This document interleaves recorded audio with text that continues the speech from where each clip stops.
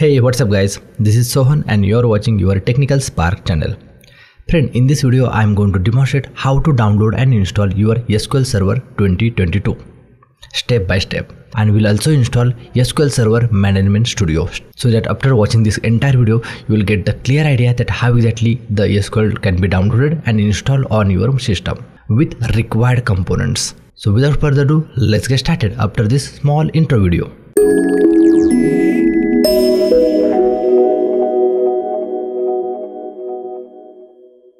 Let me show you step by step how exactly you can download and install your SQL setup file. So let me open the browser. Okay guys, now before we start downloading our SQL setup, let me tell you that there are you know two types of SQL. One is freeware and second is paid okay so in this particular video i'll be mostly focusing on express edition okay which is completely free okay but uh, don't know issues guys i will also explain you how exactly you can download the paid version as well okay? So for free version what we have mentioned sql server 2022 express edition. Okay? Because this is the latest version available right now from the microsoft. Okay? And here we'll simply have to click on the download button. Although if you want more information then you can just simply scroll down and it will give you the little more information on the product as well as the system requirement that this particular version is supported on which operating system 2016 2019 2022 as well as windows client 10 and 11 processor ram and hard disk space. So just validate all this. Now since my setup has been downloaded let me check it out. Yeah the download has been completed. So let's open this. Okay so in basic version is basically you know download the database engine. And in custom we will have the option like what exactly we need to download. And in uh, download media again we have the option. So basically we just need this particular engine core engine. Okay? So this is what i'm going to download. But if in case if you need these full text services and reporting services okay based on the your requirement you can download this. But for me i'll just go with the sql express core engine. Perfect. My sql express has been downloaded successfully. Now let's close this and this is my sql uh, express edition setup file guys. Now let me delete the previous online installer.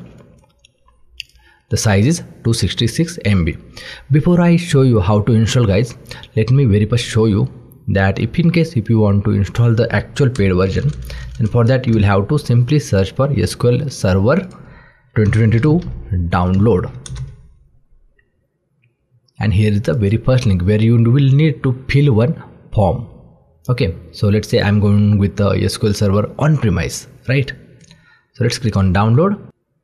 Fill all the information which is shown here and then click on download. You will get one link and from that link you will be able to download your sql server 2022 edition. All through it will again download the online installer only and there also you will get the same option. Okay the way we have downloaded this setup okay? So hopefully now you are uh, understood that how to download the sql express or sql server 2022 now let's go back and now we'll download sql server management studio. Once you search for that always click on the very first link. Download sql server management studio. And this link is always gets up to date okay? So as, as soon as i scroll down you will see there's a first link 19.3 uh, it, there may be chances that you will see the higher version at the time you are downloading but the latest version currently is 19.3 so let's click on that as well.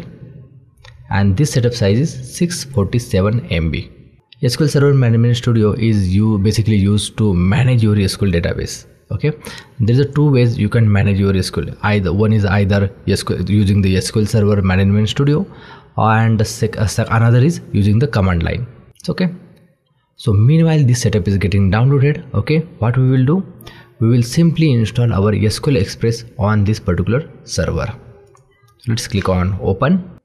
Then okay. The setup is getting extracted here. Look like it's extracted. Perfect. Now we'll have to click on the very first option new sql server standalone installation guys the only thing with the express edition database is it has the maximum size of 10 GB okay?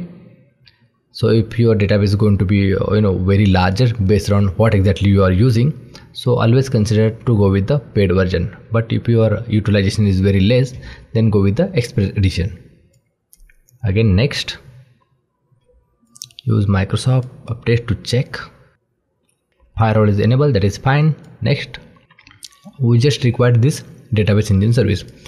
Okay this is a replication server service and right now we don't need this. You can you know go through with all the information which is mentioned at the right hand side under feature description. So i have unticked this and database engine is selected. Where exactly you want to install your database. So currently it's going to install in c drive. So that is fine. But if you are installing this sql in production version always choose the different drive other than c because C is normally your operating system drive. Now provide the name to your SQL instance. Okay, right now SQL Express is the default name which is available here. If you want, you can change that or keep it as it is like this. Okay, it will get changed below also. So I have kept SQL Express as a name right now. Click on next. Again next guys uh, right now windows authentication mode is selected but i always recommend people to go with the mix mode so for that let me enter the credential SA is a local account of SQL server for which right now I have given the credential. So currently in mix mode I have uh, access uh, for this SQL uh, database using two accounts. One is this SA account using this password and second is my administrator account through which currently I have logged in. Okay if you want how exactly you can check that? You can simply open cmd who am i? See technical spark administrator. If you want just for the safer side uh, let's say you are belong to one of the team okay? And you want everybody should access uh, this uh, everybody should have access to this database server. So what you can do you can simply click on add and if you know the D, uh, uh you know uh, group name of your entire team you can simply click on advanced okay? And then add that group name here. Okay just select that group and click on add. So right now just in similar way i have selected here for the administrators okay?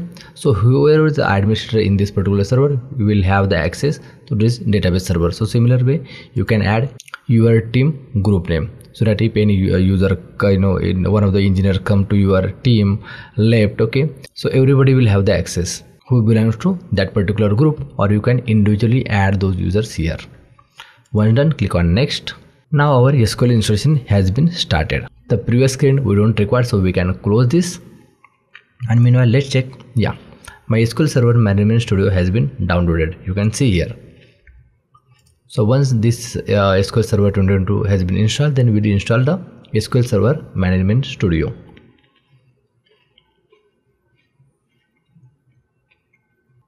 Perfect guys, our SQL Server Express Edition has been successfully installed. Now let's close this. Now guys, first thing first. Okay, let me just uh, uh, delete the extracted folder here. Yeah. Now very first once any SQL server get installed you will have to go to the SQL server configuration manager as shown here. Once it's open simply open your SQL Server network configuration and click on protocols. And here you will find your net named pipes and TCP IP is disabled so let's enable this once it enabled, it asks you to restart the SQL Server services. For that, we will go to the SQL Server services and from here, we'll restart the service. Service has been successfully restarted. Now again, we'll go to the protocols for SQL Express, then TCP IP. The reason we have enabled this because by default it took the dynamic IP. Now we have to change the dynamic IP to the custom one. So we are going to put the standard port which is 1433 and then we'll click on apply and ok. Now as a standard practice before we install our SQL Server Management Studio we have to reboot our server. Or let's try without rebooting that. If that works then well and good. I'll reboot later. Let's click on install. Here again you can define where exactly you want to uh, install your sql server management studio. By default it's c drive. If you want you can make it to d or any other. Click on install. Perfect. Is getting installed.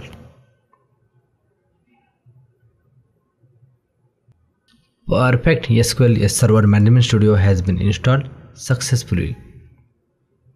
Now let me show you which version is installed so if I go to the SQL Server Management Studio, let's open that.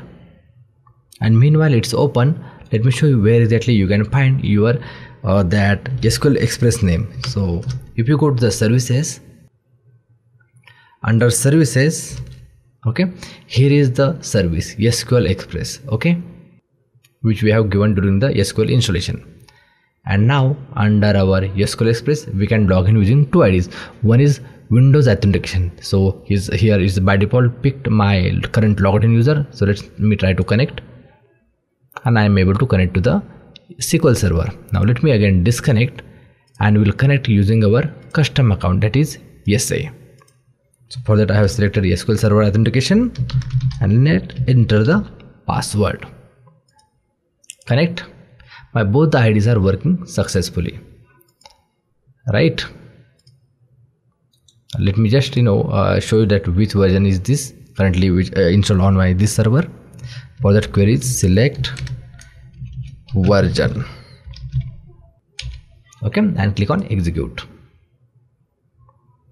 See SQL, Microsoft SQL Server 2022 RTM and its Express edition. So this is the version which we have installed.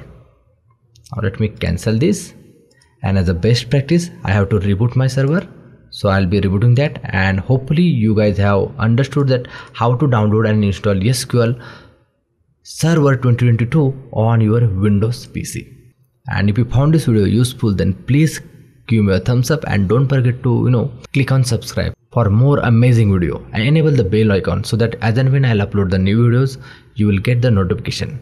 Thanks for watching. This is sohan signing out